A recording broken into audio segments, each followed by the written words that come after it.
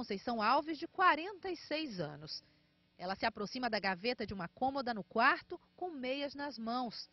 Tira o bocal de uma caneta para pegar a chave da gaveta e sai.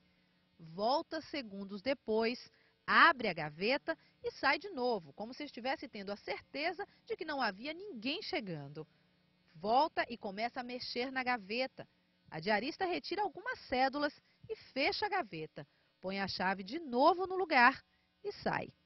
O dono do apartamento fez essas imagens com uma microcâmera. Ele começou a desconfiar da diarista na semana passada, quando parte do dinheiro que guardava na gaveta sumiu.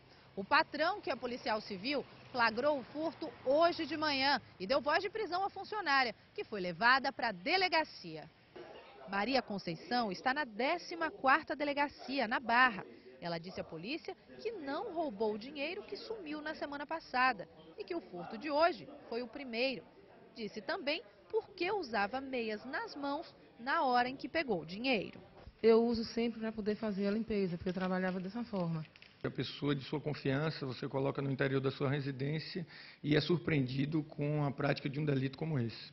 O patrão, que não quis ser identificado, contou que a diarista trabalhava com a família há seis meses.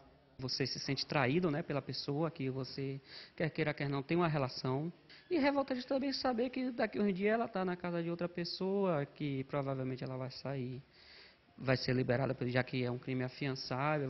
Maria Conceição vai responder por furto qualificado por abuso de confiança. A pena é de dois a cinco anos de prisão.